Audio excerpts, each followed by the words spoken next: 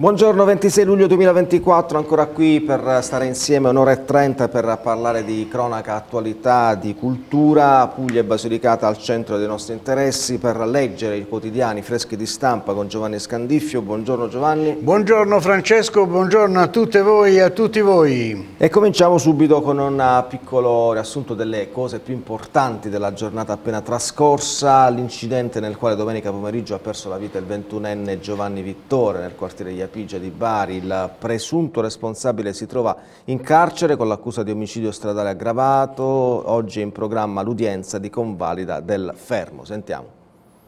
Ha effettuato una manovra pericolosa a bordo del suo scooter, causando la caduta e come conseguenza la morte del ventunenne Giovanni Vittore lungo via Gentile nel quartiere Iapigia di Bari. Una volta notato il ragazzo a terra in una pozza di sangue, non si è fermato e non ha prestato soccorso perché spaventato. Ha quindi continuato a girare per la città, rientrando poi nella sua casa di San Nicandro. È questa la ricostruzione del terribile incidente avvenuto domenica pomeriggio. Adesso il 71enne Francesco Mirella è in carcere con l'accusa di omicidio stradale aggravato da fuga e omissione di soccorso, in attesa dell'udienza di convalida del fermo davanti al GIP del Tribunale di Bari, Rossanna De Cristofaro. L'uomo è stato rintracciato tracciato grazie alle immagini di videosorveglianza della zona che hanno registrato la scena oltre ad alcuni dettagli come gli abiti indossati da Milella, il modello della sua moto, il casco e l'orologio con il cinturino arancione ritrovato sul luogo dell'incidente. Il 71enne è stato quindi raggiunto a casa dagli agenti della polizia locale coordinati dalla Procura di Bari. Qui, davanti a sua moglie, ha ammesso di aver avuto un incidente negando di essere a conoscenza della terribile fine del ragazzo. Ha inoltre spiegato di essere fuggito perché impaurito dopo aver visto il 21enne per terra insanguinato. Anche l'analisi dello scooter ha confermato la ricostruzione. Sono infatti stati riscontrati segni dell'incidente come ammaccature sul fianco destro e la rottura parziale di alcune parti della carenatura. Milella, già conosciuto alle forze dell'ordine per essere destinatario di un avviso orale per reati contro la persona e alla sicurezza pubblica, è stato portato in stato di fermo al comando della polizia locale dove ha nuovamente ammesso le sue responsabilità. Adesso si trova nel carcere di Bari. Al momento del fermo il PM Marcello Quercia non ha disposto la sua liberazione perché sussisterebbe il pericolo di fuga. Fuggito insomma perché impaurito dopo aver visto il 21enne per terra insanguinato Giovanni? È un comportamento sostanzialmente umano ma assolutamente non accettabile nel senso che in quel caso eh, la cosa da fare subito era quello di prestare soccorso perché forse si sarebbe potuto salvare appunto e poi vediamo che Repubblica Bari apre proprio su questo, ucciso dal pirata della strada, scoperti i danni sullo scooter, la foto del 71enne che poi è fuggito lasciando morire il giovane, il prete ai funerali che dice siamo inorriditi e andiamo a vedere, ecco qui siamo sul, eh, su Repubblica Bari Puglia, ecco il pirata stradale che ha ucciso Giovanni, danni al suo scooter con cui è fuggito, siamo inorriditi e spaventati, dice appunto appunto il prete, non sei stata una cisterna screpolata eh, di questo vuoto che non riempie, che è l'indifferenza. Mio figlio era solare, dice il padre, fantastico, ottimista, positivo e volenteroso. Il Giovanni ci deve dare speranza, eravamo fieri di lui, ringrazio le forze dell'ordine. C'è anche la foto appunto eh, del 71enne che ha provocato l'incidente mortale e poi è purtroppo fuggito, dico purtroppo perché forse si sarebbe potuto salvare colui che è stata la vittima. L'ultimo saluto a Giovanni Vittore, vittima dell'indifferenza malvagia, le parole del parroco nel funerale del ventunenne deceduto domenica in via Gentile, nella chiesa di San Marco anche un cestino con i messaggi lasciati in suo ricordo. Voglio ricordarvi che tra l'altro le forze dell'ordine, dell'ordine scusate, eh, hanno eh, risolto il caso individuando ehm, il presunto colpevole eh, in 52 ore. Eh, Don Felice Jacobellis, appunto tornando alla cerimonia funebre, battiamoci il petto per quella umanità che se ne frega, che non si sa fermare quando l'altro ha bisogno. L'indagato ha confessato, scrive la Gazzetta, per paura sono fuggito, il 71enne finito in carcere per aver causato il sinistro, non sapevo che fosse morto. Eh, eh, Gli agenti della polizia locale hanno identificato mezzo e conducente grazie alle immagini estrapolate da nove telecamere di videosorveglianza. Francesco Milella ha confermato la prova, il nome del del presunto colpevole ha confermato la propria responsabilità sia nel causare lo scontro che nell'aver omesso di prestare soccorso alla vittima. Insomma non è assolutamente una bella eh, situazione eh, sotto il profilo anche umano in particolare, non è una cosa che fa piacere, insomma dover raccontarvi anche queste, di, di, questi momenti si riesce a capire eh, la debolezza che è quella di darsi alla fuga, tipicamente umana anche questa, però lì bisogna essere capaci di affrontare la realtà, di assumersi le responsabilità sin dall'inizio perché questo può, può, voler dire salvare la vita di una persona tra l'altro incolpevole. E, e sotto questo aspetto però c'è anche un discorso che ha a che fare con la SP 112, lo ricordiamo, i cittadini chiedono l'intervento del prefetto perché è una strada pericolosa mentre c'è stato un frontale a San Nicandro, è morto un 53enne di palo, lo schianto è successo proprio sulla provinciale, la strada provinciale per eh, Cassano. Insomma un argomento davvero oh, eh, triste, particolare, che ha a che fare da un lato con eh, l'incapacità a poter come dire, eh, prestare subito i soccorsi a questa persona, dall'altro ha a che fare con l'indifferenza rispetto a certe situazioni, ma c'è anche un problema di sicurezza sulla viabilità stradale che bisogna assolutamente eh, risolvere e sotto il profilo delle infrastrutture ma anche sotto il profilo dei comportamenti di automobilisti e motociclisti. E passiamo dalla cronaca, quella che arriva dalle strade, quella cittadina, andiamo alla cronaca politica perché continua in Puglia la raccolta firme per arrivare al referendum abrogativo contro l'autonomia differenziata. In tal senso a Bari ieri si è tenuta un'iniziativa promossa dalla Huila per sollecitare i pugliesi a firmare contro una legge definita Spacca Italia. Ieri abbiamo visto per quanto riguarda sempre lo stesso argomento che il Partito Democratico aveva dimenticato di attemperare ad alcuni passaggi per cui questo bloccava il Consiglio regionale pugliese. Intanto insomma invece proseguono le varie raccolte firme. Allora sentiamo questo servizio. L'inno di Mameli risuona in Puglia per ricordare l'importanza di un'Italia unita sia nella forma che nella sostanza.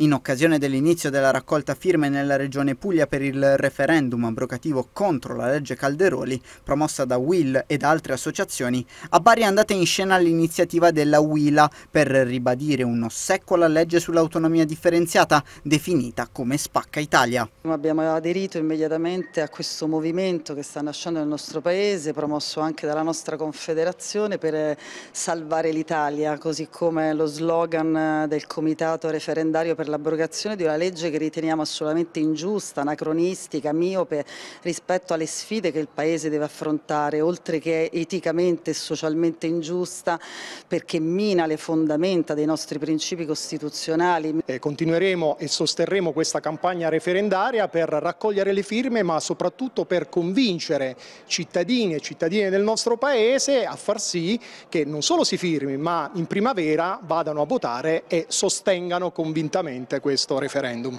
La Puglia è dunque la quinta regione progressista con Emilia-Romagna, Sardegna, Campania e Toscana ad aver dato il via all'iter necessario per richiedere il referendum contro la legge voluta fortemente dalla Lega, un obiettivo più che raggiungibile per il governatore Michele Emiliano che punta deciso al raggiungimento del quorum di 500.000 firme utile per dare il via al referendum abrogativo. È importantissimo eh, raccogliere le firme per coinvolgere le persone e prepararsi poi al, al referendum nel modo più adeguato, quindi tutto il sindacato italiano è eh, coinvolto, quando addirittura si cerca da parte di qualcuno di dire che è un referendum poco sentito, cioè che non, non raggiungerà il quorum, eh, a parte che ci divertiamo il giorno in cui si andrà a votare.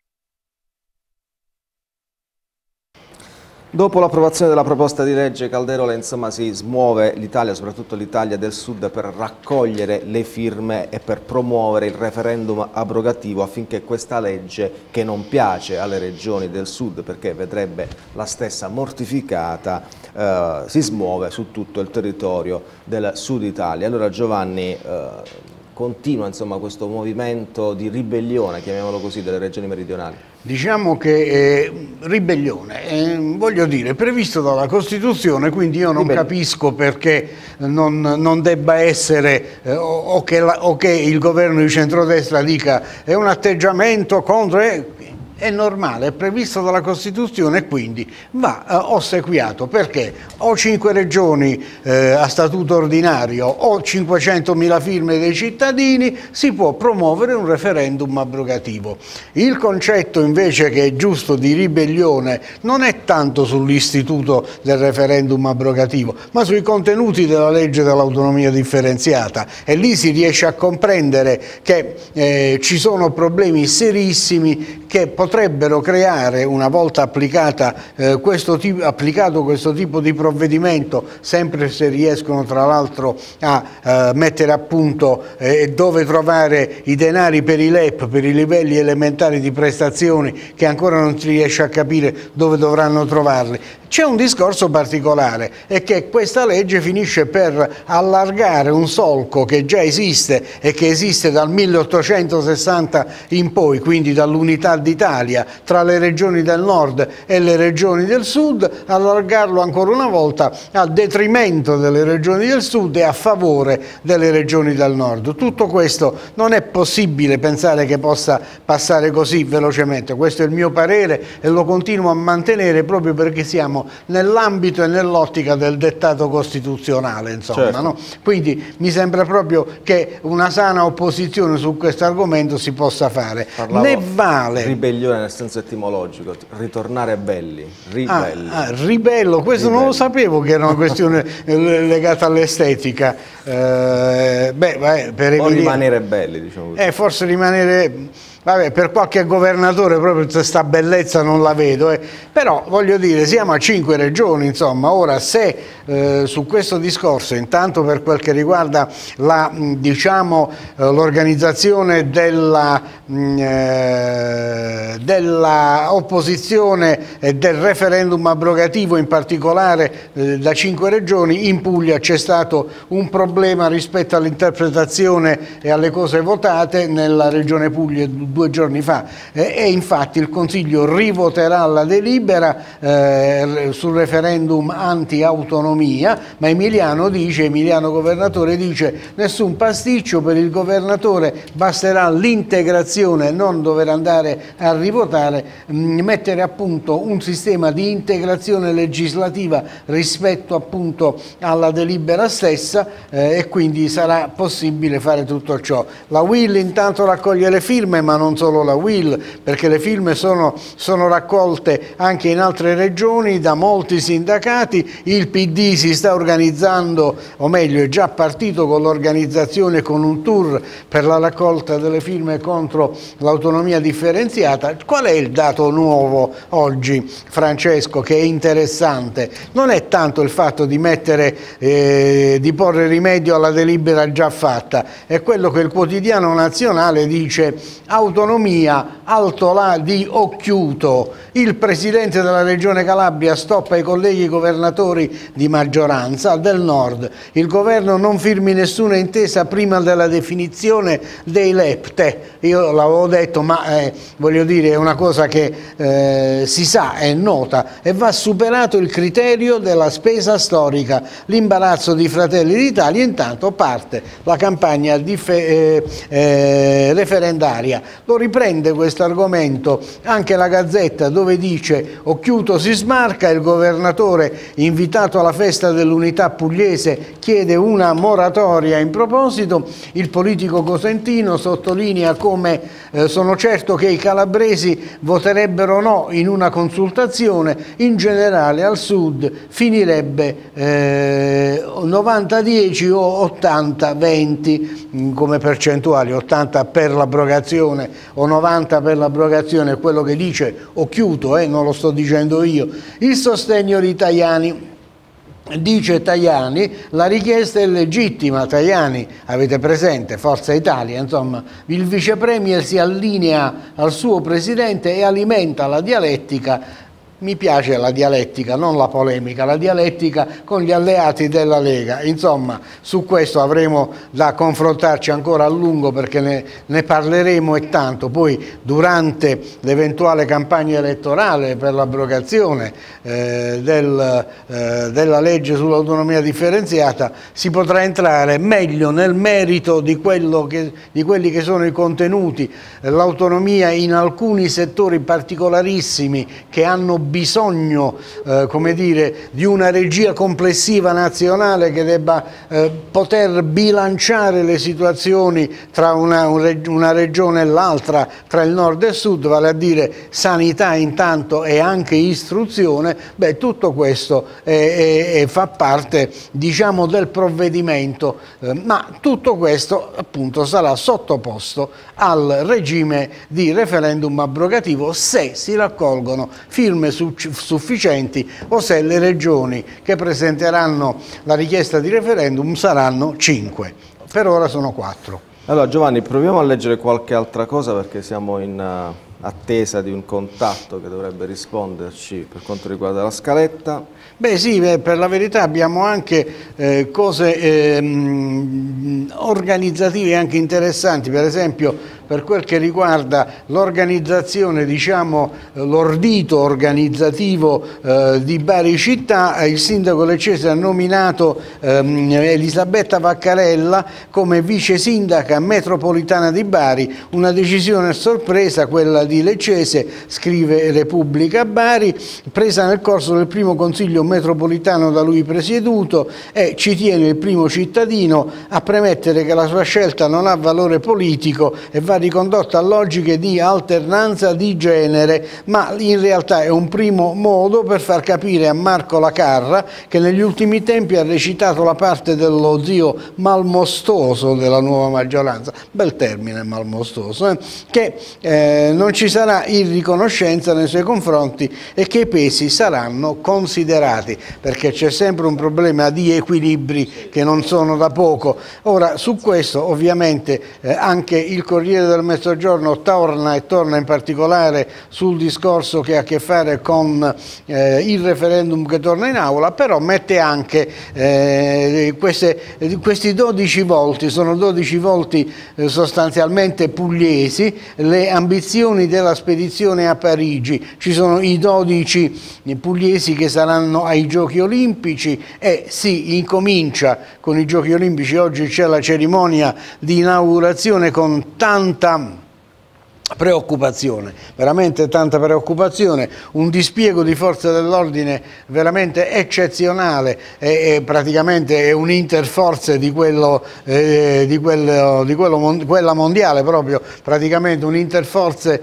tra eh, polizie e intelligence di quasi tutto il mondo, quasi tutto il mondo e su questo dovrebbe valere il principio che è stato quello invocato anche da Mattarella, Presidente della Repubblica Italiana che, italiana che è andato a salutare gli atleti tra l'altro ieri, eh, il principio che ha anche invocato il Papa della tregua olimpica. Eh, se non ri, eh, vi ricordo che quando si tenevano i giochi ad Olimpia Ehm, che è praticamente una cittadina molto, tenuta molto bene tra l'altro nel Peloponneso, eh, i giochi ad Olimpia eh, c'era eh, tregua militare, cioè non si combattevano le guerre, eh, si fermava tutto e si giocava perché erano i giochi dedicati a Zeus olimpico e speriamo che questo almeno serva a fermare determinate situazioni. E dall'Olimpo di Zeus, Giovanni, andiamo alla città di Matera, in particolare nel quartiere La Martella, perché esprimono malcontento alcuni cittadini attraverso il Comitato Quaroni rispetto ai lavori in corso che prevedono l'installazione di un'antenna per radiotelecomunicazioni cellulari. Eh, sono indignati e delusi dalle risposte insufficienti delle istituzioni, dicono eh, il Comune, fanno sapere ancora, dovrebbe adottare un piano antenne per regolare e minimizzare l'elettromagnetismo delle antenne telefoniche. L'emendamento, dicono ancora, in chiusura del decreto coesione del 27 giugno che permette deroga ai regolamenti comunali per la localizzazione degli impianti non è applicabile al nostro caso essendo la nostra richiesta antecedente. Ne parliamo con Eustachio Cuscianno, presidente, presidente del Comitato Quaroni che intanto saluto e ringrazio, ben trovato, buongiorno. Buongiorno, buongiorno a tutti e grazie per l'opportunità.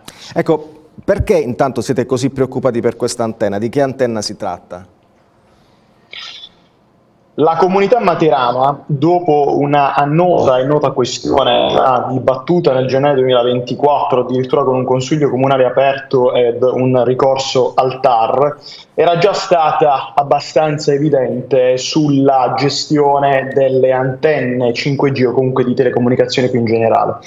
È in questo solco che la comunità di La Martella pervenuta un'istanza di un privato all'installazione di un'antenna nel borgo storico della nostra cittadina, ha trasmesso formalmente un'istanza di opposizione.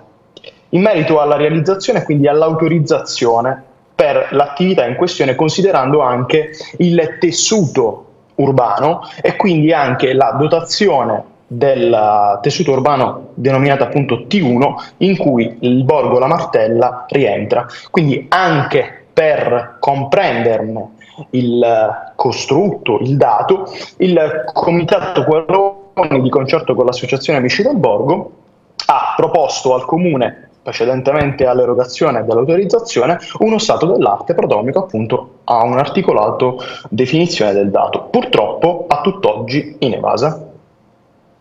E questo insomma è importante sottolinearlo, così come avete sottolineato che serve adottare un piano antenne. La Martella rientra all'interno di un comune, il comune di Matera, che ha, parrebbe, un piano, appunto definito un piano antenne, che o deve essere necessariamente aggiornato o deve essere adottato de plano, ma per permettere soprattutto un'articolazione che va nella direzione di esercitare opportunamente una discrezionalità finalizzata a contemperare gli interessi di salute, di paesaggio, di ambiente e soprattutto anche di diritti di comunicazione. Il piano permette di definire determinate articolazioni che non soggiacciono esclusivamente all'interno dei regolamenti urbani, ma anche dei diritti che i singoli privati possono avere all'interno delle articolazioni. È noto, solo prendendo la cronaca locale di questo mese, che a valenza nazionale sia i comuni che i privati cittadini di alcune frazioni di comuni anche più blasonati del nostro, quindi con una grande numerosità campionaria, hanno vinto il ricorso al TAR contro l'installazione di antenne di questo tipo. È chiaro quindi che l'attività fondamentale è comprendere per quale motivo sia ricorso nuovamente un silenzio assenso. L'ennesimo silenzio assenso per la nostra comunità materana non permetterà purtroppo nuovamente la comprensione di un articolato all'interno del nostro territorio. Tant'è vero che in quasi tutti i casi l'amministrazione o aveva espresso un parere o aveva espresso un altro parere, quindi un parere positivo o un non luogo a procedere, in seguito al quale ovviamente è chiaro che è dibattuta l'attività di giurisprudenza. Nel merito, ancora una volta, l'ente preposto parrebbe abbia fatto ricorso al silenzio assenso, una procedura amministrativa contemperata ma che può riflettere e può generare alcune perplessità nell'ambito dell'applicazione delle procedure amministrative. In pratica dite non può valere lo stesso schema autorizzativo valso per via Gravina per lo stesso tipologia di antenna 5G tanto, già tanto criticato, non può valere lo stesso schema. Errare è umano, ma in alcuni casi adottare le medesime azioni potrebbe rifilarsi assolutamente scollante rispetto a una gestione, in questo caso, di un'intera comunità. Si è fatto ricorso nuovamente al silenzio-assenzio, evidenziando quindi una inespressa visione di questa amministrazione. E quindi è chiaro che laddove il Comune già nel gennaio del 2024 aveva compreso che il proprio ufficio non aveva adottato un parere, quindi aveva effettuato il ricorso al TAR di Basilicata, si è visto rigettato anche a seguito di una non determinata emissione di parere tecnico. Quindi è chiaro che la nostra posizione è soprattutto molto perplessa in merito dapprima alla non emissione di parere tecnico e in secundis all'adozione di un piano antenne che avrebbe potuto appunto tutelare non solo il paesaggio, in questo caso ricordiamolo, il Borgo La Martella è inserito all'interno del tessuto urbano T1, quindi paragonato a un centro storico ed è giurisprudenza di queste settimane che tutti coloro che ovviamente volevano erigere, come ovviamente i soggetti privati, antenne parificate a queste all'interno del centro storico, il TAR ne ha avverso le condizioni, considerando che ci sono dei regolamenti non solo urbanistici ma anche legati al centro storico che ne vanno impediti dal punto di vista paesaggistico oltre che urbanistico. Ma il piano va anche nella direzione di poter permettere ai singoli privati il diritto di comunicazione evidenziando quindi le aree che possono essere allocate all'interno del perimetro del comune di Matera. Quindi considerando che la questione è stata assolutamente dibattuta con tutta la comunità era ovviamente nota così tanto tale addirittura da evidenziare un consiglio comunale aperto nel gennaio 2024, non si comprende per quale motivo si sia fatto nuovamente ricorso al silenzio assenso e parrebbe che in questo caso il comune di Matera ancora non si sia dotato o comunque non abbia aggiornato, laddove lo avesse già avuto, il piano antenne. Ed è per questo che la comunità chiede a gran voce delle risposte. In alternativa, non si sta effettuando un'attività di governance correlata ai cittadini. L'attuale stato d'animo dei residenti evidenzia uno scollamento totale e soprattutto una forte e rilevante indignazione rispetto al rapporto di fiducia tradito e non più reciproco che in questo caso la comunità in toto, in particolar modo quella di La Martella, si è vista ovviamente perpetrare sulle proprie spalle. E allora ringraziamo Eustachio Cuscianna per quanto ci ha detto e attendiamo insomma ovviamente le risposte e novità su questa questione. Grazie per essere stato con noi. Grazie, grazie ancora a voi. Grazie, buona giornata. Allora andiamo in pubblicità.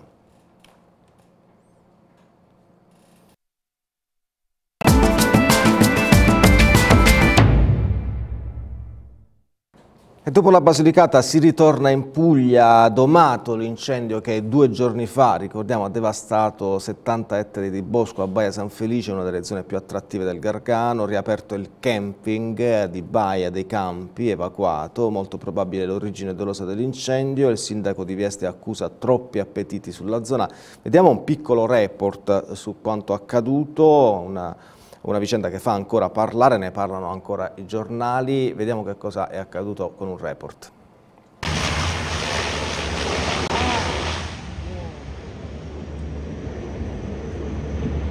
Lancio ottimo, prossimo se me lo anticipi al primo imbruvio, quello che ci è passato da sopra. Ce ne sono voluti tre di Canadair con l'ausilio degli elicotteri per domare l'incendio che ha violentato ieri ancora una volta Baia San Felice, il paradiso a pochi chilometri da Vieste. Come un anno fa, stesso giorno, stesso luogo, fiamme appiccate in più punti e 70 ettari di bosco distrutti. Una lotta incessante di vigili del fuoco, protezione civile, Arif e volontari durata fino a notte.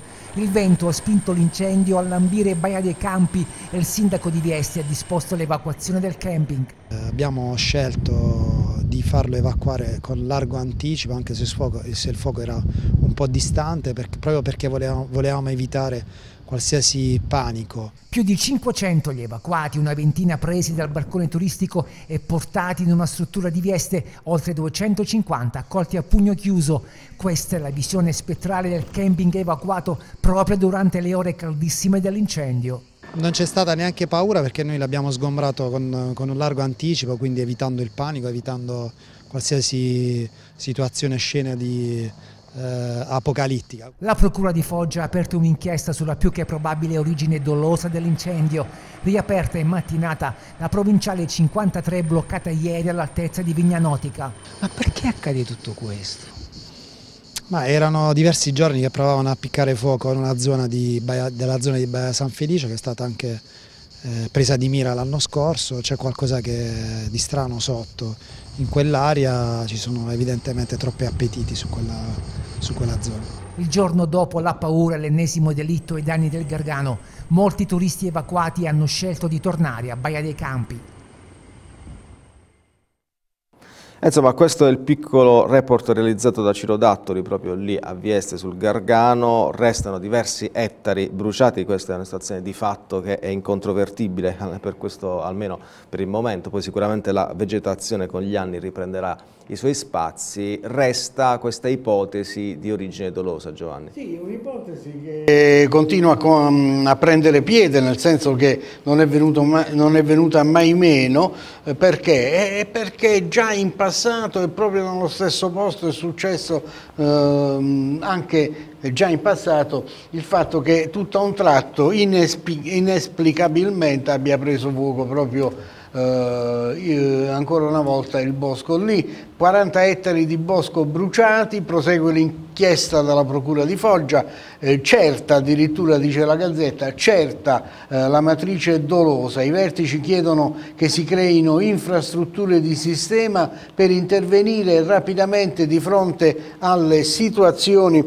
di pericolo. Insomma è chiaro che è uno di quegli argomenti che eh, sicuramente tiene banco, anche se va tenuto presente che eh, l'emergenza rientrata definitivamente ormai da 24 ore, anche se l'altro giorno a scopo precauzionale circa 600 turisti ospitati in campi e hotel della zona sono stati ospitati in altre strutture alberghiere di Vieste e nella palestra comunale della capitale del turismo pugliese con eh, altre, eh, altre 2 milioni oltre 2 milioni di presenze all'anno, quindi voglio dire è uno di quei punti di riferimento proprio eh, del, della crescita, dello sviluppo del turismo. Poi va detto ancora che mh, ieri ancora una volta c'è stato come dire, un, eh, un giro eh, di, di, lanci di acqua dei Canadair proprio per favorire l'inizio della bonifica dei luoghi, un intervento richiesto dal comandante dei Vigili del Fuoco di Foggia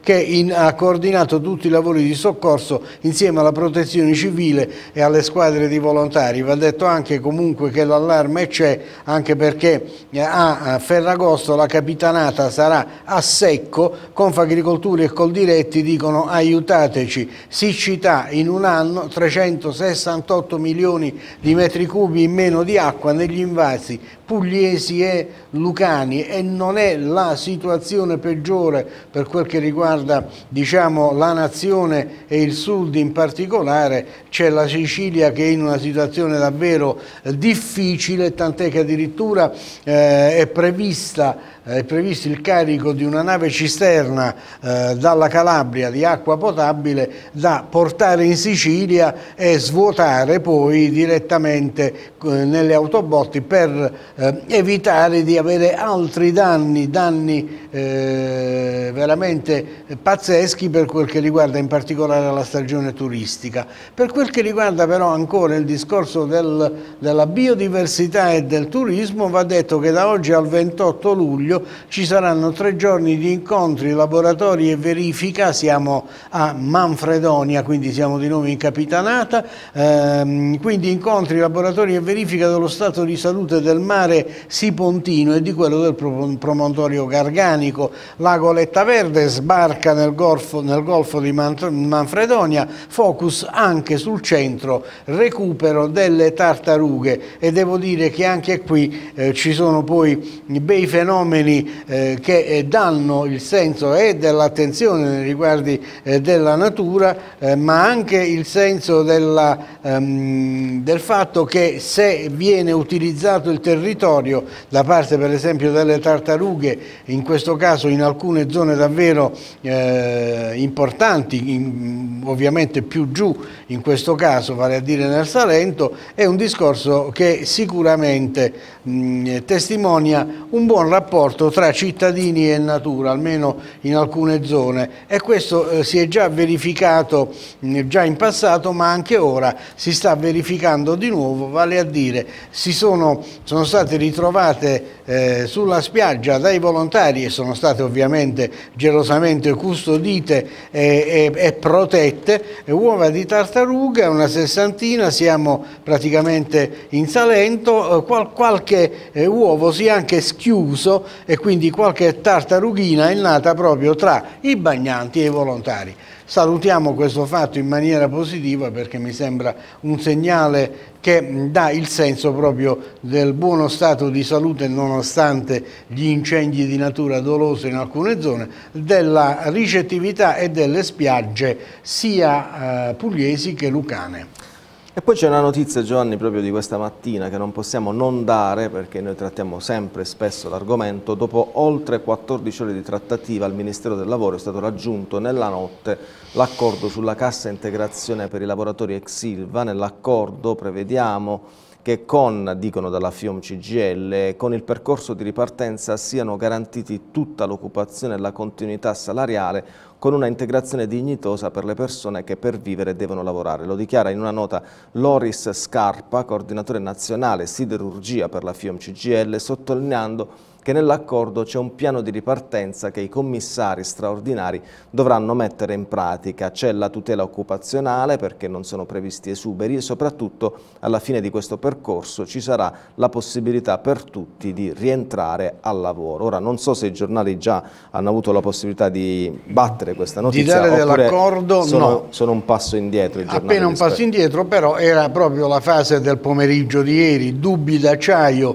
scrive la Gazzetta del Mezzogiorno nel titolo, il ministro Urso al capezzale dell'ex Silva di Taranto, sindacati e ditte dell'indotto, chiarezza sul futuro, ecco qui, ex Silva, cassa integrazione, scure sugli impianti a Taranto, l'incontro ieri al Ministero del Lavoro per ridurre il numero dei cassa integrati, ma come abbiamo visto si è trovato l'accordo, i sindacati hanno chiesto certezze su integrazioni salariali e futuro a Taranto, visto il ricorso all'ammortizzatore sociale, seppur ridotto per 4.200 eh, lavoratori. Va detto che poi ci sono su questo una serie di dubbi che ancora restano, i dubbi delle imprese dell'indotto sulla cessione dei, credici, dei crediti, perdonate, dei crediti alla SACE. Confindustria e AIG plaudono all'operato del governo ma temono ulteriori oneri, ma anche su questo bisognerà vedere come si svilupperanno non tanto le trattative ma proprio le cose in sé,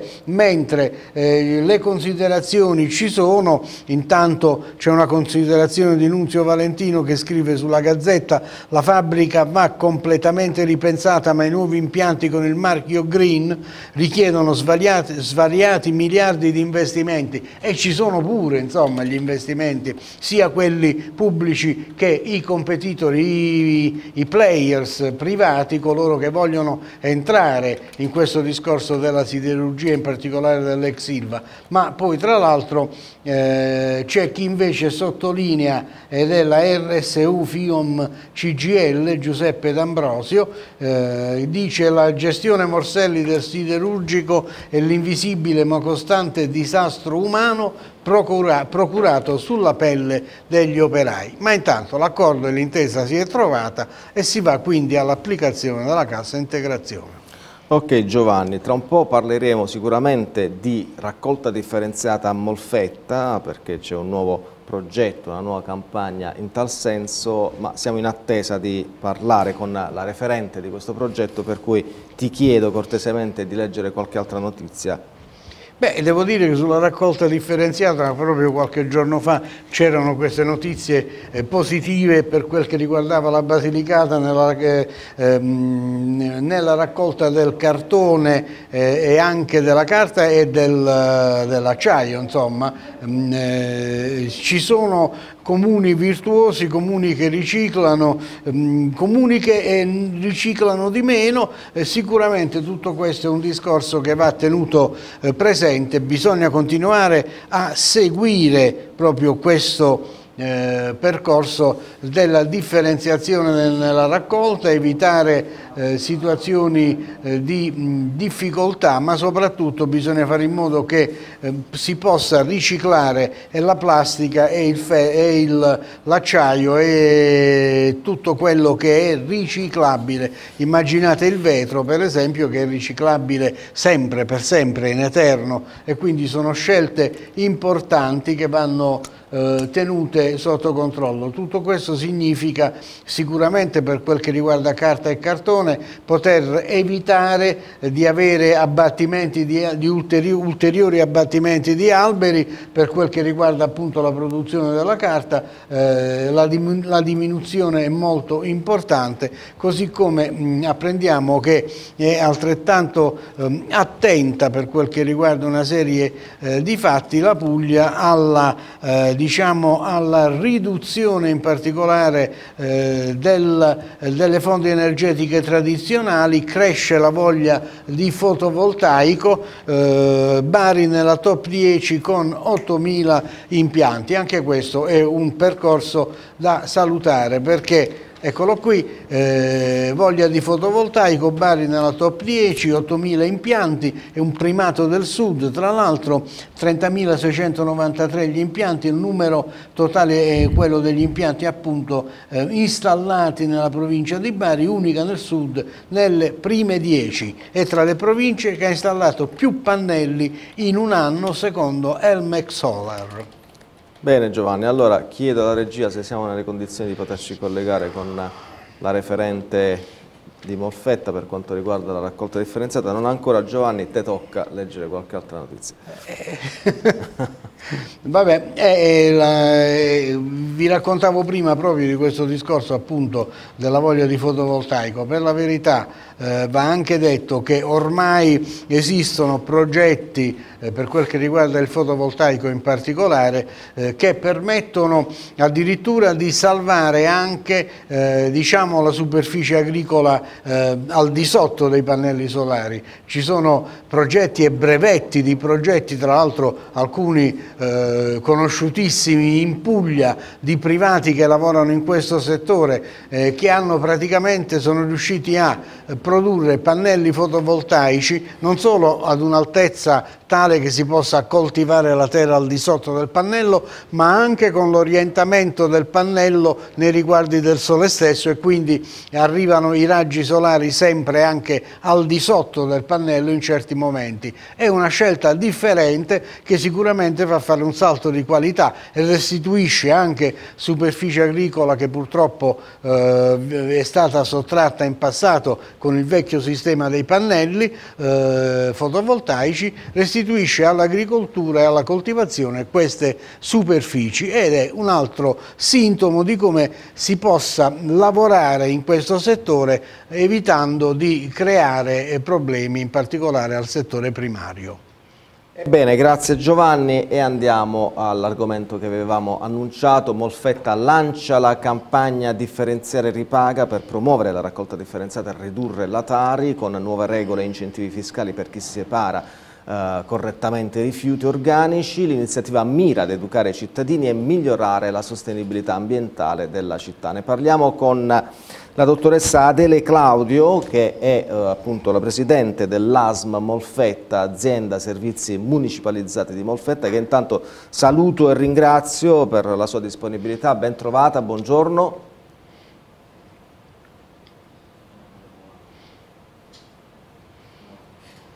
Qualche piccolo problema nel collegamento.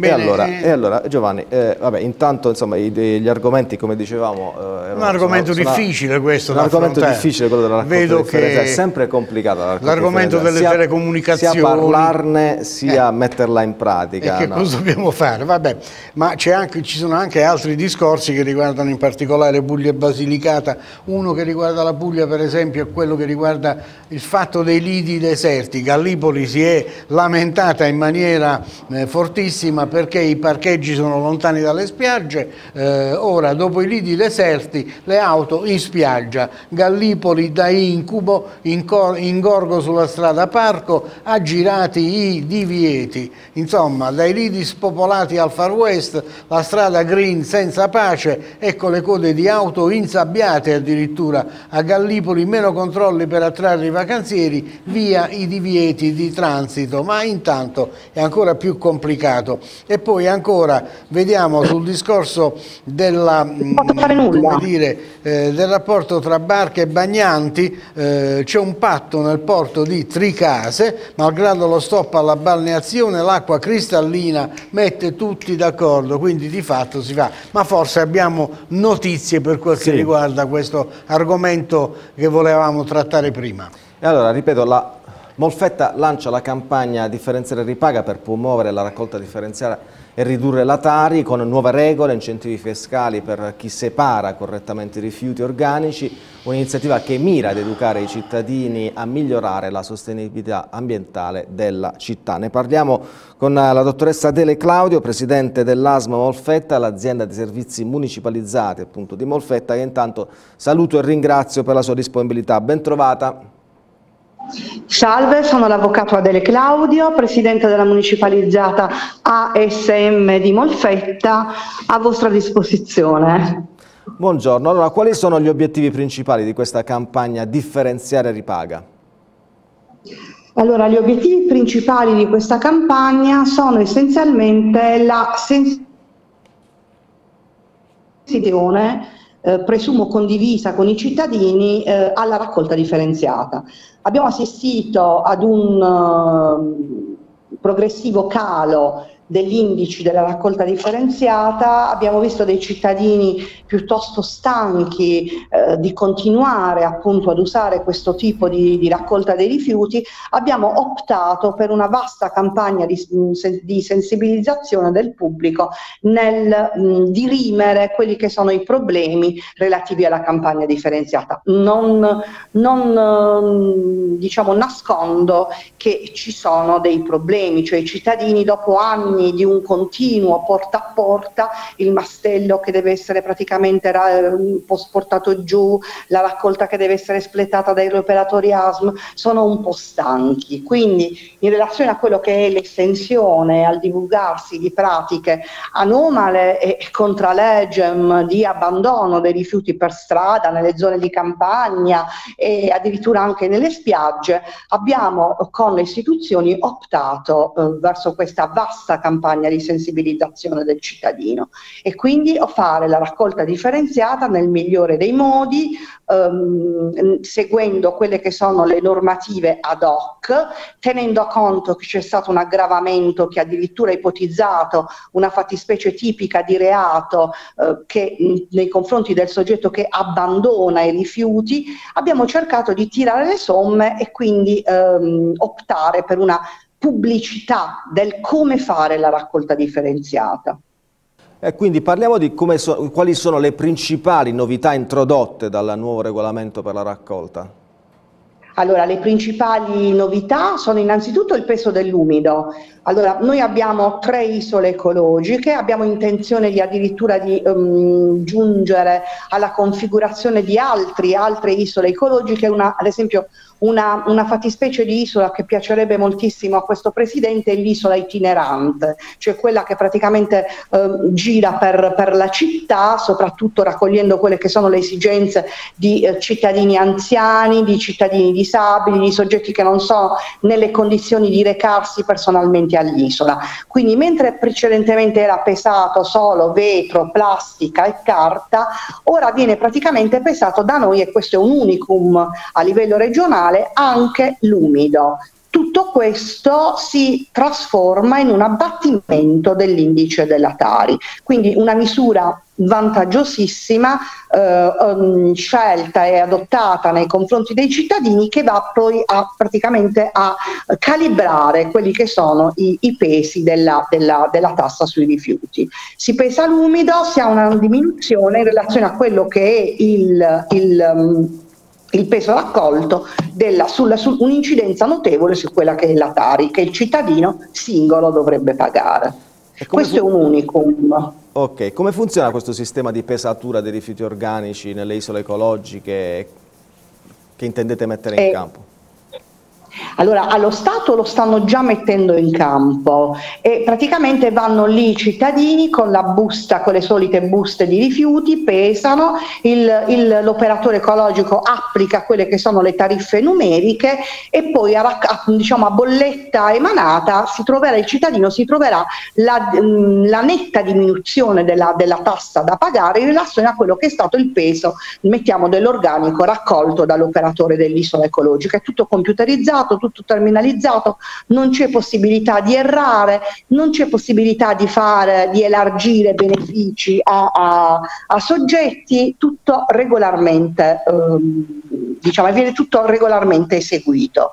Un'altra novità è chiaramente l'aumento delle sanzioni amministrative nei confronti dei soggetti che abbandonano o che non fanno una corretta raccolta differenziata. Abbiamo aumentato la, la sanzione da 100 euro a 2,50 questo soprattutto per dare un input anche alle grosse realtà commerciali di espletare una raccolta differenziata mirata e soprattutto fatta bene, perché questo potrebbe chiaramente aumentare gli indici della raccolta differenziata, darci la possibilità di eh, non andare, eh, non sforare con, con appunto con, la, con, con l'ecobonus, cioè andare, non andare oltre il 65%, al, al di sopra del 65% dell'indice.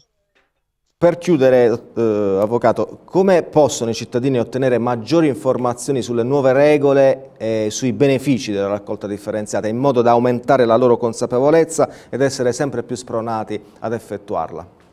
Allora, noi abbiamo innanzitutto ehm, adottato il, un nuovo sito molto più completo ehm, dell'ASM che si trova su ovunque e dovunque, dove è praticamente messo il, è raccolto il regolamento della, che noi abbiamo approvato, il nuovo regolamento sulla raccolta eh, dei rifiuti differenziata, Molto contiamo su questa campagna pubblicitaria che, che diciamo non sarà al di là dei media, al di là dei social, noi abbiamo bisogno anche di un contatto vicino, un contatto ecco, con, con, il cuore dei cittadini, quindi saremo vicini ai cittadini nelle parrocchie, nelle scuole, nei, nelle associazioni, quindi questa, la, la divulgazione del messaggio che deve essere condiviso dai cittadini di fare una raccolta differenziata precisa, puntuale, che ha come diciamo, input soprattutto la tutela del, dell'ambiente, la tutela della salute e perché no anche la tutela delle tasche dei cittadini. Bene, allora questo grazie. È noi, eh, questo è quello che noi appunto ci auguriamo. Allora io ringrazio l'avvocato Adele Claudio, presidente dell'ASMO Molfetta per quanto ci ha detto, per averci illustrato questo bel progetto, in bocca al lupo. Grazie mille, grazie, buona giornata buona a voi. Giornata, buona giornata a lei. Allora chiedo alla regia se andiamo in pubblicità direttamente. Ok, perfetto. Allora, pubblicità e poi siamo di nuovo qui.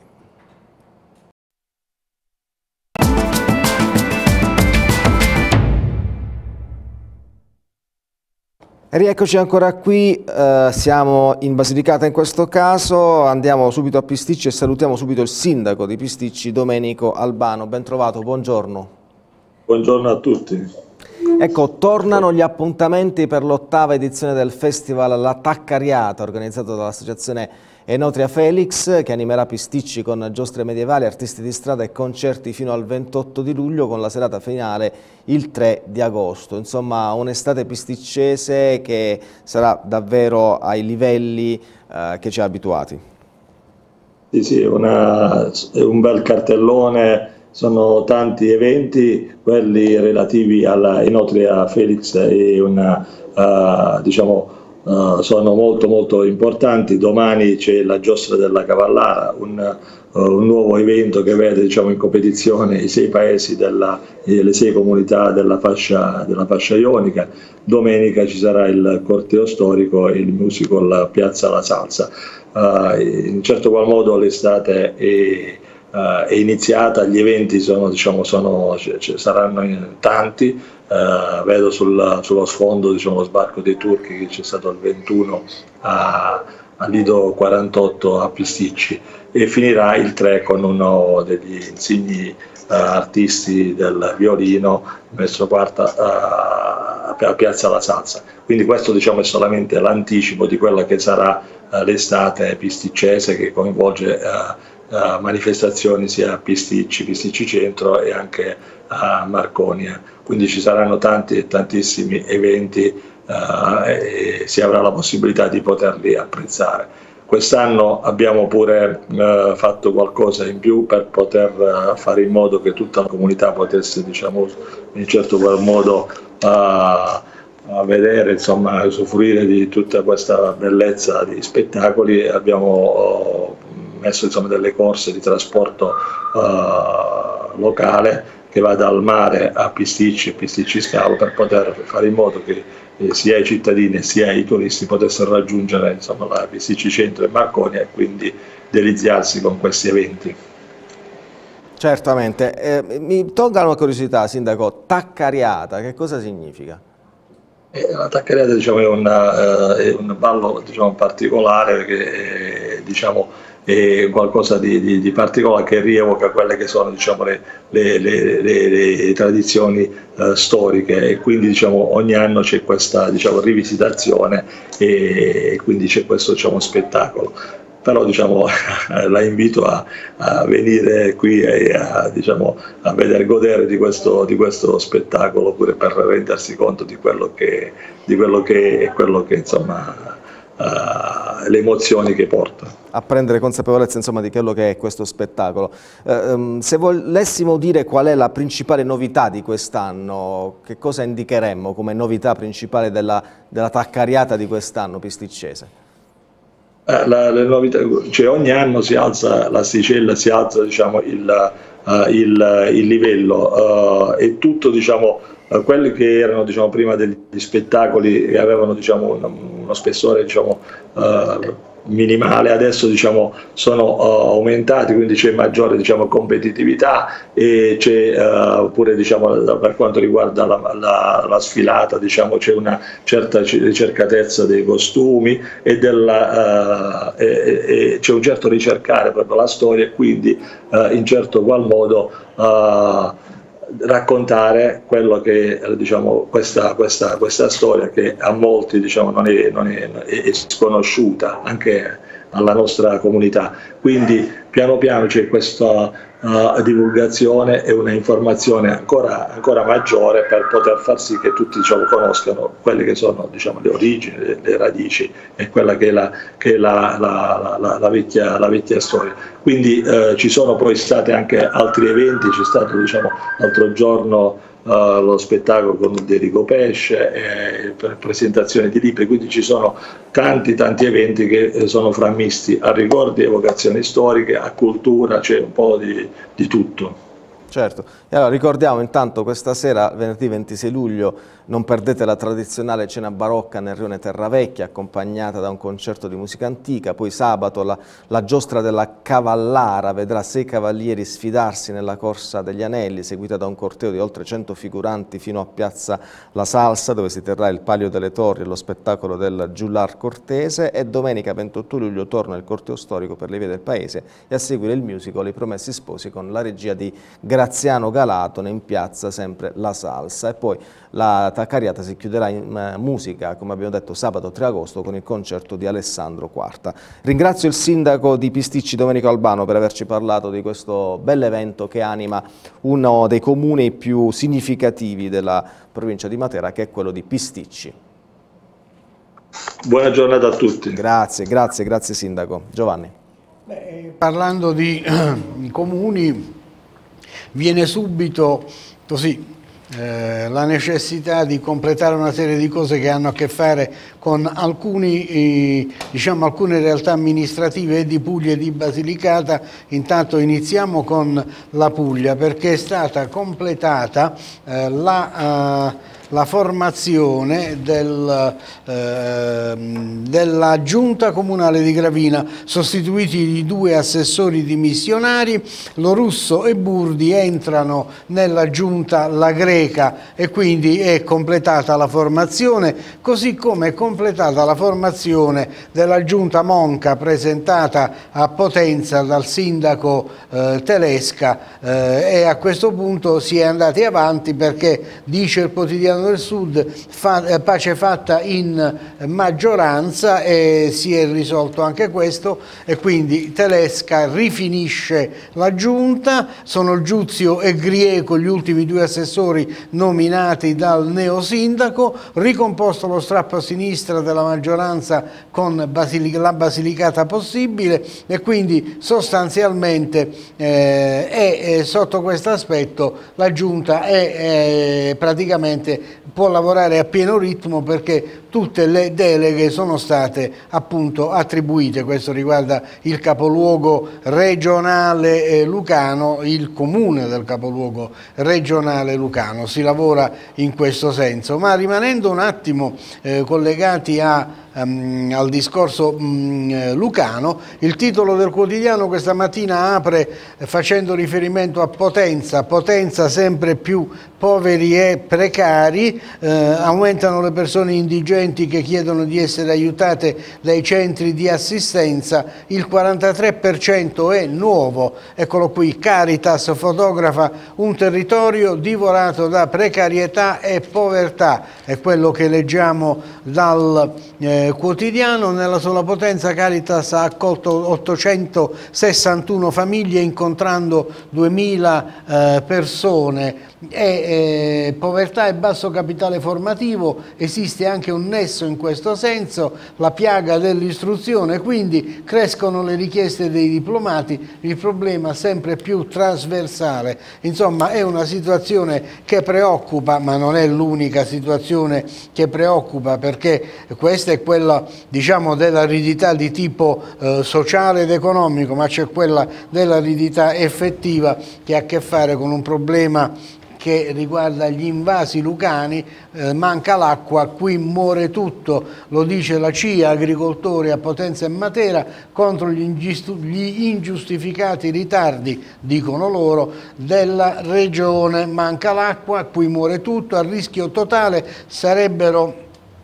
3.500-4.000 ettari di produzioni orticole. E questo ovviamente è un altro problema eh, serissimo che eh, come già vi abbiamo detto eh, riguarda tutta, un po' tutta quanta la nazione perché vi dicevo prima della Sicilia ma anche la Sardegna a secco gli invasi sono al 57% quindi immaginate come non sia solo un problema a Pululucano il problema della mancanza d'acqua ma riguarda un po' tutti quanti noi. E sotto questo aspetto è chiaro che bisognerà trovare una serie di percorsi differenti perché se no Laurenzana che, che resta resta senza acqua, siamo in un comune della montagna eh, potentina, il sindaco chiede interventi immediati per la riparazione delle tante rotture, i rubinetti rimasti completamente a secco, otto interruzioni in due settimane finirà che avremo questo fenomeno sempre e costantemente. Poi eh, invece bisogna invece trovare il sistema, il sistema per fare sistema intorno all'acqua e fare in modo da non sprecarla da un lato ma neanche da, eh, da trovare soluzioni intelligenti per, aver, per poterla conservare. Eh, per quel che riguarda poi invece in particolare eh, il discorso che ha a che fare con, eh, abbiamo sentito, le proteste dei cittadini materani riguardavano un'antenna in particolare sì, no? sì. ma c'è anche un altro tipo di protesta. Non piace ai cittadini di un rione che è nato con la legge del risanamento Sassi, il rione La Nera, che ormai è un rione quasi centrale della città, eh, rispetto al fatto che eh, sarà eh, messa lì, impiantata, la, mm, diciamo, il contenuto contenitore a forma di veliero dove ci saranno i resti della famosa balena giuliana. La balena giuliana che è un fossile eh, di milioni di anni fa ritrovato appunto nella diga di San Giuliano, l'invaso è quello che appunto garantisce anche irrigazione all'agricoltura. Non togliamo il parco ai cittadini, dice intanto il sindaco, ci sarà un altro incontro con i residenti, ehm, nessun albero sarà tagliato, eh, quindi sotto questo aspetto dice anche il sindaco siamo aperti al confronto. Eh, eh, e devo dire che anche il discorso di, eh, di La Martella dell'antenna dopo via Gravina adesso l'antenna incombe sulla Martella e quindi se ne parla e continua ad, avere, ad esserci ancora attenzione. Mentre un caso particolare che non si riesce ancora a comprendere ancora silenzio sul caso di Barbara siamo a Rotondella non è ancora risolta la vicenda della disabile che si è trasferita da Matera a Rotondella, non riceve ancora l'assegno per la disabilità e non c'è traccia dell'assistenza eh, domiciliare, quello che ci viene come indicazione in particolare dal quotidiano. Va detto poi che invece per quel che riguarda le tante cronache, ehm, le tante cronache ancora eh, nazionali a questo punto, eh, andiamo subito a vedere qual è la situazione, iniziamo con il Corriere della Sera, via ai giochi, Parigi blindata, lo abbiamo accennato prima, calcolate 65.000 agenti in assetto di guerra, l'allarme di Israele, tra l'altro piano d'attacco contro di noi, eh, calcolate che Israele durante le Olimpiadi ha già subito situazioni di questo tipo, e poi ancora eh, eh, Parigi appunto blindata, oggi si incomincia, ma va anche detto che non c'è solo questo, c'è anche l'attacco di Trump che dice eh, Biden cacciato con un golpe, insulti, fake news e sessismo contro Kamala Harris, eh, insomma eh, la polemica si accende, ma tornando intanto al discorso con, ehm, per Parigi, Parigi si consegna all'Olimpiade diffusa tra sogno e rabbia, Mattarella Show vola con Tamberi e poi canta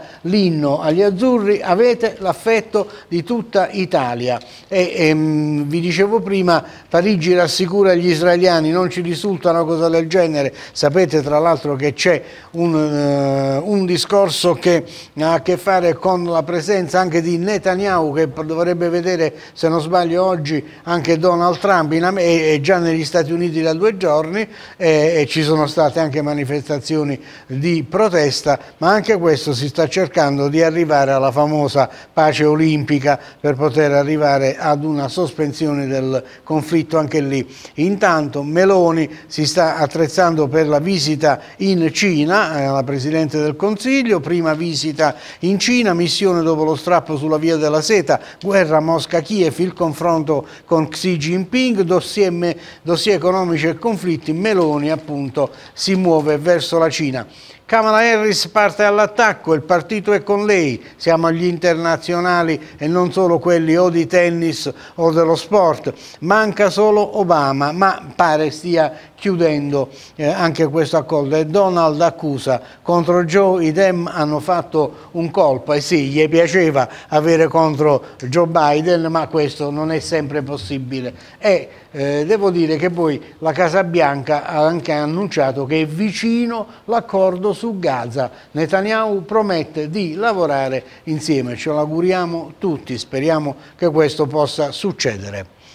Bene Giovanni, possiamo fare la vignetta? Andiamo così. già alla vignetta. Eh beh, ha detto allora. che alle 9 e un quarto volevi... Cioè, eh sì, eh no, e non, uh, non mi ero reso conto, mi ero infervorato finalmente, potevo parlare direttamente a filo dritto. Eh, allora a questo punto c'è la vignetta di Giannelli che è simpatica perché è giocata su mm, Trump Kamala Harris, con, ovviamente Kamala la, la pronuncia è questa con l'accento sulla prima A, eh, e, eh, però entra in ballo anche il principe Antonio De Curtis, in arte Totò, per via di una sua famosissima canzone. E allora c'è Trump che va al contrattacco e allora si vede Trump con il suo ciuffo biondo che indica eh, la Harris e che canta Femmina tu sei Kamala femmina, Kamala femmina e gioca su questo mh, mm, eh, questa, questa, particolare espressione proprio Giannelli, eh, ancora una volta mh, mm, confermandosi uno, un, uno, dei migliori nell'ironia, eh, nella capacità di saper cogliere questi particolari. Alla prossima. Grazie Giovanni. Allora noi andiamo subito ad un collegamento perché ci sta già attendendo Donato Popolizio, organizzatore dell'Altamura in Festival. Ben trovato, buongiorno. Buongiorno a voi. E allora, ci descrive e ci faccia entrare subito nel mood di questo festival che insomma, prevede diversi spettacoli estivi. Sì, siamo quasi alla metà del cartellone della rassegna voluta dall'amministrazione comunale di Altamura e realizzata dalla PS Management. Uh, in questi giorni ci saranno diversi appuntamenti di rilievo con artisti che non hanno bisogno di presentazioni, quali eh, gli attori comici Pampers e eh, Paolo Caiazzo. Poi successivamente avremo altri appuntamenti dedicati al teatro, alla, alla musica, al, al, divertimento, insomma, almeno fino ai primi giorni di settembre ci saranno ancora diversi eventi che potranno eh, far divertire gli altamurani e non, perché la nostra rassegna almeno mm, vedendo anche gli appuntamenti precedenti, ha, visto la presenza anche di gente che è venuta a trovarci dai paesi limitrofi. Qual è il fil rouge che collega questi, questi eventi, Popolizio?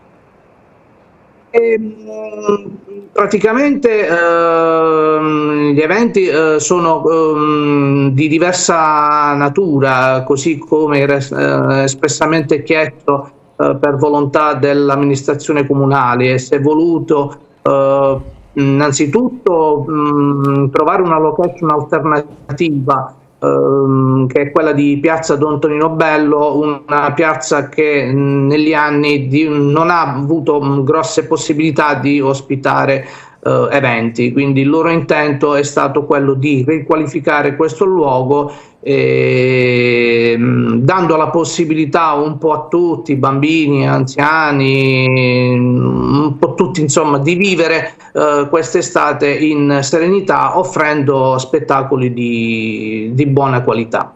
Ecco, voi avete iniziato esattamente l'8 luglio, il prossimo spettacolo è il 28, come ricordava lei, col cabaret, con i Pampers in Non Facciamo Tardi. Eh, quali sono stati i principali eventi che hanno caratterizzato fino ad ora eh, il vostro cartellone? Uh, beh, sinceramente un po' tutti, quasi tutti gli spettacoli hanno riscosso un grosso successo. Ovviamente uh, l'appuntamento di punta era quello del concerto dei Nomadi del 15 luglio, ma um, anche il, gli spettacoli di cabaret di Vincenzo Comunale, di, di Max Cavallari, degli Scemi Freddi, Uh, lo spettacolo per i bambini degli Enjoy Kids, uh, quasi tutti gli spettacoli hanno riscosso un, un, grosso successo. Ovviamente questo ci fa enormemente piacere perché uh, tutti gli sforzi, gli sforzi, organizzativi che stiamo sopportando, uh, grazie alla, alla, grande presenza di pubblico, insomma, ci rende molto felici. Ecco, e poi diciamo, nei prossimi giorni avremo una, una, terna di appuntamenti, Cabaret, i Pampers l'abbiamo già detto, eh, Paolo Caiazzo, in Terroni si nasce, ed io lo nacqui modestamente, e il 30 luglio il concerto live pop con musica d'autore con Kashmir, che è la, la tribute band di Cesare eh, Cremonini. Eh, cosa ci può dire di questi tre artisti? Uh, beh, diciamo sia i Pampers che Paolo Cagliazzo non hanno bisogno di, di, presentazioni, sono artisti nazionali che abbiamo visto sia al cinema, soprattutto i Pampers, e in, in tv mm, sulle reti uh, di um, Mediaset, su Zelig, Colorado e Made in Sud, la, la presenza di Paolo Cagliazzo è stata costante, quindi sicuramente questi due appuntamenti avranno un, um, una grossa, grossa, affluenza di pubblico. Io consiglio anche di seguire uh, la cover di, di, Cremonini, un gruppo di, del, nord, del nord, nord, barese che è molto bravo che eh, ci darà la possibilità di far ascoltare i brani di, di Cesare Chemonini, uno dei più grandi cantautori italiani. Bene, io la, intanto la ringrazio per essere stato con noi e quindi ci diamo appuntamento alle prossime tappe di questo bello spettacolo eh, che durerà fino insomma, ai primi di settembre che caratterizza l'estate altamurana. Grazie per essere stato con noi. Grazie a voi e grazie per l'attenzione che state, ci state insomma, dando per, per, seguire i nostri appuntamenti. Grazie, grazie, grazie, di cuore. Grazie a lei. E rimaniamo ad Altamura con lo storytelling e la tecnologia che raccontano i claustri.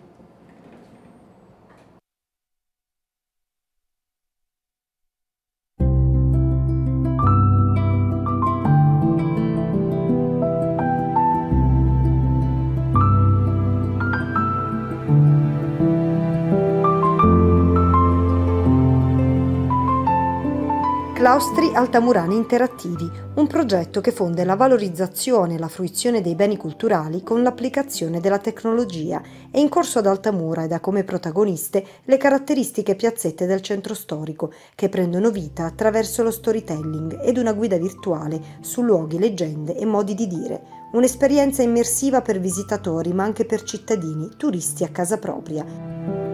Il progetto è frutto di una partnership che vede realtà del territorio, fra cui Altanet, Archi APS, Giano Studio, Cara Altamura Io Ti Voglio Raccontare e ABMC, Archivio Biblioteca Museo Civico. Il progetto nasce sull'iniziativa di una società privata della Altanet a fronte di un bando TOC del Ministero dei Beni Culturali TOC sta per transizione organismi culturali e creativi e per cui siamo partiti con questo progetto a settembre scorso per la realizzazione di una piattaforma informatica in grado di, di far interagire il turista con i luoghi fisici dei claustri, dei claustri di Altamura. Ricordo che ad Altamura ci sono circa 80 claustri e noi ne abbiamo attenzionati circa una decina come cambia la fruibilità dei luoghi attraverso le nuove tecnologie? L'innovazione del progetto è nella interattività del claustro con il turista, o meglio, la geolocalizzazione del turista fa sì che possa fruire di determinati contenuti se e solo se si ritrova nell'area del claustro per un raggio di 10-15 metri a seconda dell'impostazione che abbiamo dato su quel claustro. Quindi c'è questa interattività che solo arrivando in quel determinato posto, quindi veicolando il, il, un flusso turistico specifico su quel posto, si possa fruire di determinati contenuti culturali. È prevista anche una raccolta dati nell'utilizzo di questa app? Sì, è fondamentale praticamente una raccolta dati che arriva direttamente dall'utilizzo delle app nei vari claustri raccolta dati che alimenta una dashboard o un cruscotto decisionale di supporto alle decisioni diciamo, per i gestori, la, mi lasci dire i gestori di, di tematiche pubbliche oppure di chi si occupa del turismo quindi numero di accessi, numero di download dei vari contenuti multimediali, ma soprattutto c'è anche una raccolta di feedback per gli utenti registrati per quanto riguarda l'analisi diciamo, del, dell'uso de, dei claustri e del progetto in sé per sé. Oltre a quella che è la parte diciamo, eh, tradizionale, quindi la storia un po' del claustro, l'architettura del claustro, c'è l'effetto, eh, abbiamo chiamato l'effetto wow, cioè l'effetto sorpresa, è ehm, spiegabile forse meglio con, con un esempio, eh, trattando eh, un claustro tradimento, l'effetto sorpresa è perché claustro radimento, perché si chiama in quella maniera, nonostante eh, oramai è um, universalmente accettato che non c'è stato nessun tradimento da parte degli altamurani, però l'effetto tradimento c'è claustro tradimento perché? Perché si presume che una donna, una certa Agata Ragna, abbia tradito i suoi concittadini permettendo uh, l'ingresso all'interno uh, delle mura cittadine del, di parte dell'esercito cardinale Ruffo e quindi da questo uh, terminò l'assedio e ci fu la presa praticamente di Altamura con tutte le, le, le, le conseguenze. Effetto WA che viene raccontato da un omino virtuale eh, in pochi secondi. E poi a questo abbiamo aggiunto una rubrica particolare che è quella della vita nel claustro, cioè come si svolgeva la vita all'interno eh, del claustro, ci sono, sono delle, delle, delle, sitcom, delle videoclip di eh, pochi minuti con ehm, personaggi, eh, con abbigliamenti del tempo, con oggetti di uso del tempo, facendo vedere come eh, si viveva in quel periodo. E eh, abbiamo cercato di eh, cucire addosso ad ogni claustro una situazione particolare partendo da un elemento tipico di quel claustro, dall'unicum di quel, di quel claustro. Panie, panie, tenite do carbun, che stai astre, se sos tutaj, come si conciliano storytelling, eh, luoghi e nuove tecnologie? Allora, abbiamo usato rigorosamente il dialetto uh, del periodo, quindi il dialetto degli anni 50, uh, alcuni termini sono uh, poco fruibili anche da parte degli altamurani stesso, stessi, però ci abbiamo messo i sottotitoli in, in italiano e in inglese, per cui sarà fruibile da parte di tutti quanti, però sono rigorosamente in dialetto altamurano. La volontà di preservare la lingua madre, il dialetto, le particolarità dei termini antichi? Allora, siamo uh, purtroppo consci che probabilmente questa è l'unica generazione che uh, attingerà ancora ai proverbi, ai modi di dire, uh, perché lo abbiamo recepito dai nostri nonni, dai nostri genitori, però eh, non abbiamo saputo trasmetterla nella maniera adeguata ai nostri figli, un po' per tutte le situazioni circostanti, uh, la, la, la, internet, eccetera. In questa maniera ecco, speriamo di conservare qualcosa, conservare un po' la memoria del nostro paese. Ebbene, è tutto per questa nostra edizione di TRM Live Special. L'appuntamento torna come di consueto a domani sabato, sabato domani 27 di luglio. Grazie per essere stati con noi. Buona giornata.